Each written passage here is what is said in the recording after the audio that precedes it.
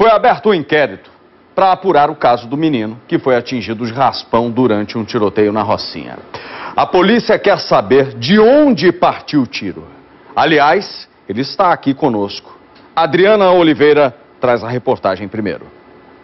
Wesley Barbosa de Oliveira, de 13 anos, foi mais uma vítima da violência no Rio. Ele foi atingido de raspão por um tiro quando estava dentro de casa na Rocinha. Naquele momento, acontecia uma operação na comunidade. Traficantes desafiavam os policiais com artilharia pesada. Moradores registraram o confronto de diversos pontos. Com medo do tiroteio, Wesley decidiu não ir à escola e, preocupado, chegou a pedir à mãe para sair da janela. Os tiros ficaram muito próximos, eu fui fechar a janela meu filho falou: sai da janela, mãe. Nisso que ele falou, sai da janela, eu saí, aí ele começou a gritar, fui, fui atingido, fui atingido, eu pensei, não, é o momento que ele estava brincando. Mas é quando ele levantou, eu vi que ele tinha sido acertado na face e que tinha passado pela janela.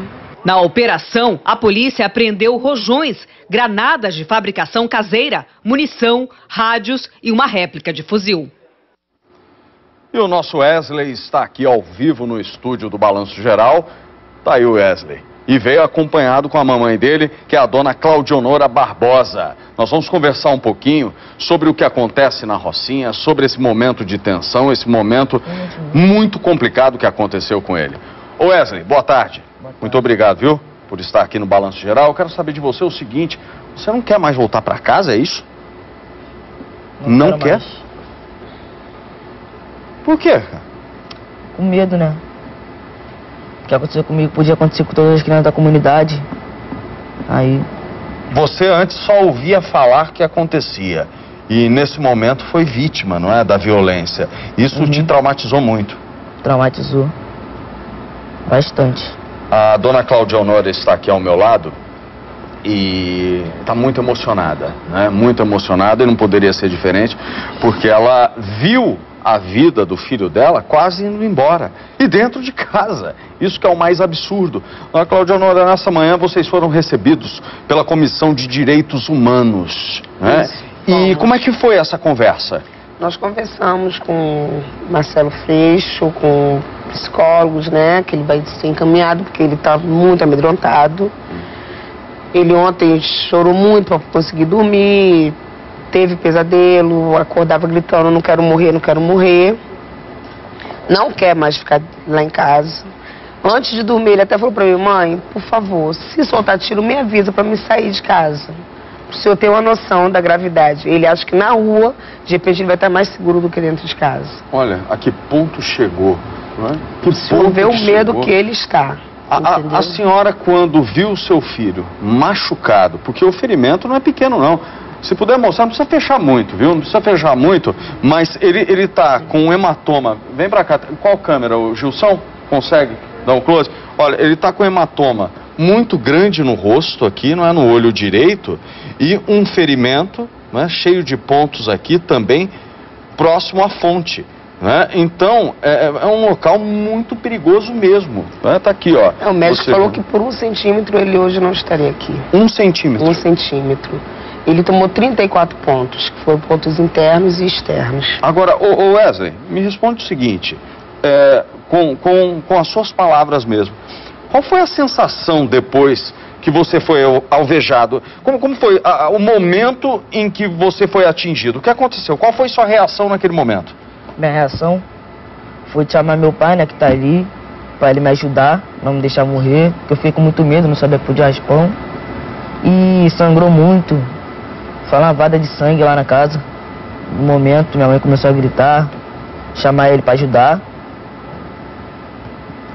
É, né, tô com medo, bastante medo. E tem que ter medo mesmo, tem que ter medo mesmo. E tomara que o senhor governador Luiz Fernando Pezão esteja ouvindo esse garoto e se comovendo com o choro dessa mãe aqui. Eu, eu quero frisar uma coisa: nós não, não temos medo da nossa comunidade, nós estamos com medo da situação. É o psicológico dele uhum. que está abalado, entendeu? Porque nós nunca vivenciamos isso na nossa comunidade. Então uma coisa é escutar, isso, falar, falar que, aconteceu. que aconteceu. Agora a gente vivenciar a situação é outra totalmente diferente. Operações tem que haver, tem que haver, mas tem que haver com inteligência. Porque grandes líderes do tráfico que foram presos, foram presos fora com inteligência. A polícia foi lá, estudou como chegar até eles, prendeu sem disparar uma única bala. Aí eles chegam na comunidade atirando. Aconteceu o que aconteceu com meu filho. Hoje ele está aqui, mas poderia não estar. Entendeu? Quando descemos para socorrer meu filho, não deixaram a gente passar. Usaram palavras grossas com meu marido, palavrões horríveis. Volta, volta, com um fuzil apontado para ele.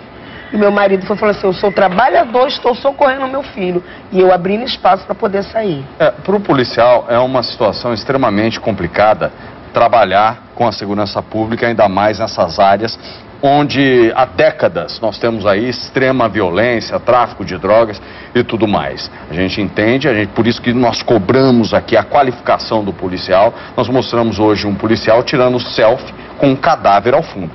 Então um rapaz desse, me perdoe, nunca, nunca deveria ter colocado uma farda da polícia. Ainda está sendo apurada aí a informação, mas se for um policial, me perdoe, me perdoe, sabe? E o respeito à população, respeito à comunidade, acima de tudo, eu sempre falo, às vezes é melhor deixar o bandido fugir do que arriscar a vida de um inocente, tá? Ô Wesley, graças a Deus você está aqui, Graças tá? a Deus. É, valorize muito essa mulher que está ao seu lado, que é a sua mãe, que ela te ama, isso dá pra ver a todo momento, cada palavra que ela fala, tá? E sempre se abracem e falem, ainda bem, Conseguimos. nós estamos legal, nós estamos aqui vivendo dia após dia. Tá legal, Wesley? Tá legal. Valeu, garotão.